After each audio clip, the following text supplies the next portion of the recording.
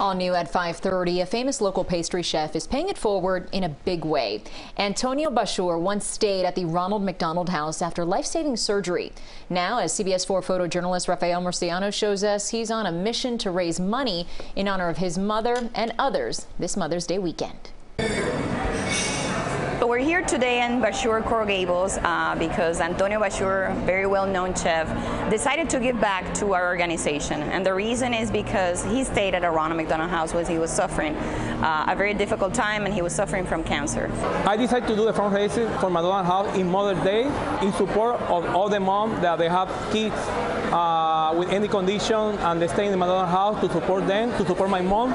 She suffered a lot with my condition. When you come here and you purchase any pastries or sweets, which by the way, they're delicious and beautiful, 10% uh, is being designated to the Ronald McDonald House. And he's doing this in honor of his mom and all the moms that stay at the houses because um, moms are special when a child is sick and they want their mom next to them.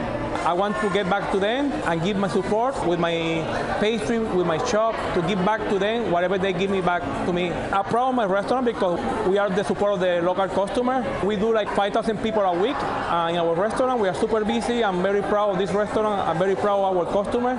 I never forget McDonald's House. They are the best people in the world. They support me. They was with me in the bad time in my life, in the worst time in my life, and then I want to support them now. Wow. Special cause and special croissants. Right. as you mentioned, it was as big as your head. Looked delicious.